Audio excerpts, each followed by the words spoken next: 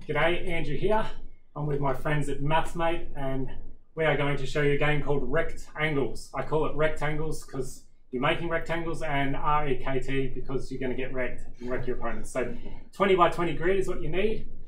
If you've got a Think Square kit, you use rubber bands and do this with a hands-on uh, approach. Otherwise, you use you know a laminated A4 or A3 sheet and then draw it on with whiteboard markers.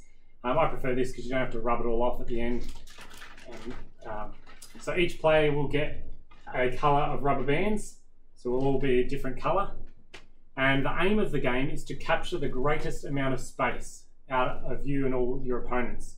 And so to do that, we'll all be taking the same dice roll, which sounds weird, um, but we won't be applying it in the exact same way. So with dice games, I generally don't like them because they're luck based.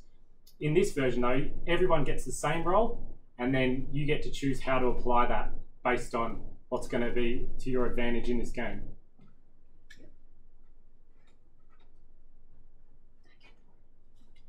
All right, so every player is going to start from the very corner.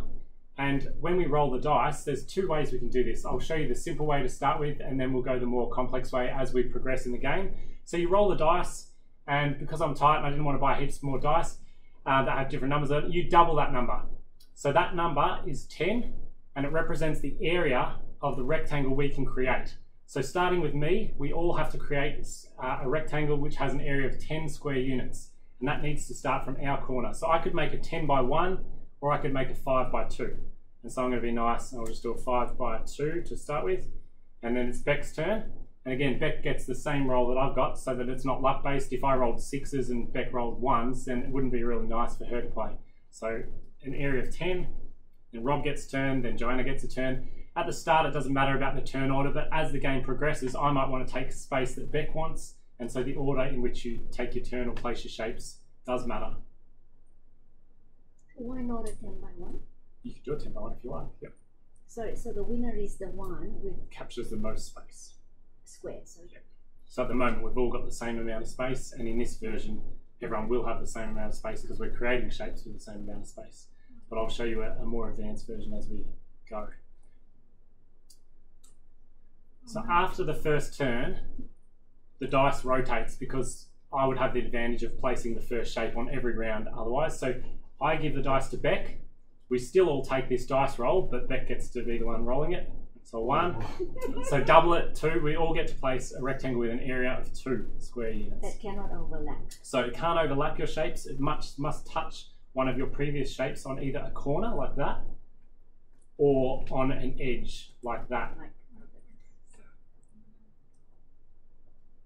Yeah, perfect. And so if you place a shape like that, somebody can sneak through that gap because they can connect from there to there, or vice versa. So if you place it in another way and build the wall like that, it might might stop from getting past. And to take the risk and go the corner as well. All right, now Rob's turn. Four. Right, so again, it doesn't have to touch your first shape. It can touch any of the previously placed shapes on either an edge or a corner now. And the area is 8.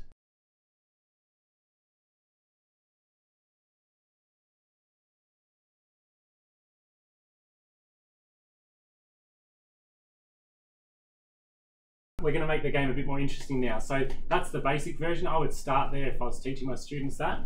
But now the dice, we're going to use perimeter as the value. So whenever we double the dice, we're using perimeter and we're going to add four. So the formula, and I've used this to teach algebra to, to younger kids, just is two, two times the dice plus four. That's the value of whatever you roll. And that now represents the perimeter. And that gives you heaps more flexibility in the shapes that you make, but it also sacrifices area if you want to go for a really long, annoying thing like this. So for example, if I rolled a six, 2D, so 2D is 12, and then plus 4, 16. So I've got a perimeter of 16. And I'm just going to demonstrate in the middle of the board here. So a perimeter of 16 could be a 4 by 4. That is the distance around that is 16, and the area is also 16. If I wanted to make uh, a long annoying shape, I could do a 7 by 1, because 7 plus 1 is 8, and then 7 plus 1 is 8. So let's just make that for a second. Get tangled here two, three, four, five, six, seven by one. So both of these shapes have a perimeter of 16. This shape, however, captures a space of 16 squares. This captures a space of only 7 squares. So this is a much better shape for capturing space, but if I was able to block back off and make a giant paddock for myself, that would be worth the sacrifice. So it makes the game far more interesting when you start playing with perimeter. So we'll do that for a few shots and then we'll get to the end game. 4 times 2, 8, plus 4, 12. So I'm just going to go 3 by 3 square. And remember, squares are a special type of rectangle. They're a type of rectangle with all sides being equal, so they still count. And if I didn't mention before, every shape that you create in this game must be rectangular.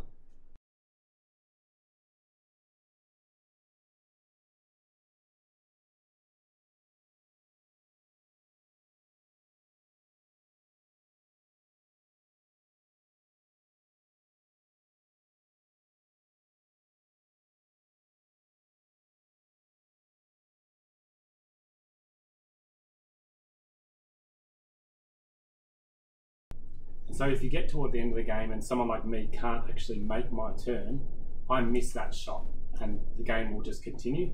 The game will end when a number is rolled and nobody can fit a rectangle with that perimeter in. Once that happens, you count up the space that you've captured. So this does not ca count as me capturing it because I need to put the rectangle here, same with that. Uh, so I've still, I'm still alive for the moment, but I'll be about three turns and I don't think I'll be able to go anymore. Be good. Come on. We need a one. We need a one. Hey, there it is. Ends it, ends it That's properly. the end of the game. So when you end the game, as a teacher again, I would like my students to strategically count the number of squares they've captured rather than going through one, two, three, four, five, six, seven. I mean, it's nice to keep track of when you pull them off, but because they're all over the place, for someone like me, I would just capture or say that I've got all this area, then subtract the bits that I'm missing. So one, two, three, four, five, six by one, two, three, four, five, six, nine, ten, eleven. Six by 11, 66, and then take away two, four, six, eight, ten, so 56, 54, 52, 50. So that, that space for there for me is 50 and I keep going. Generally, if you score over 100, you'll be right up there and probably win it. Uh, I'm nowhere close. Beck's nowhere close. So we'll see. We'll do the final count and we'll we'll let you know who wins. All right, so 50. 72 plus 25? 97. The winner. There you go. So I wasn't too far off. So I was 87 in the end. Right, 92. Wow. 73. And it, it really depends on how efficiently you can use the space that you Mm. did section off for yourself. That's Um, awesome. And, and it's nice because you could put down way more shapes, but if they're long, skinny ones, Mm. um, you don't get as much area for your, bang for your buck. Yes. So, anyway, well done. That's Yeah. cool. To download a free copy of the Rekt-angles game board and instructions, visit thinksquare.com.au slash rect. For hundreds more games, puzzles, and rich activities just like this, check out the MathsMate Year 7 and 8 textbooks. Enjoy!